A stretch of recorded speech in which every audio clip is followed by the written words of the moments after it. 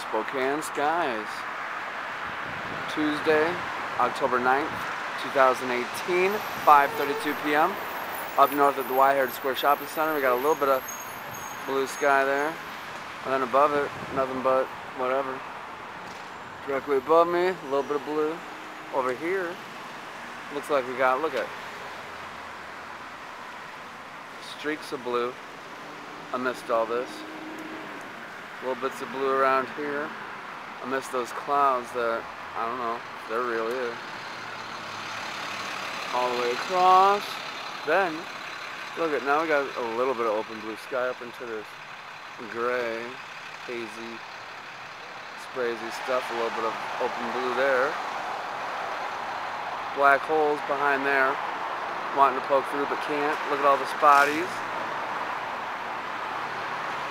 So there we go. There's a 360 of what's going on at the Y and Heritage Square Shopping Center in Spokane. Be sure to keep looking up. Never know what you're going to see or what you're not. Unless you are. Spokane Skies.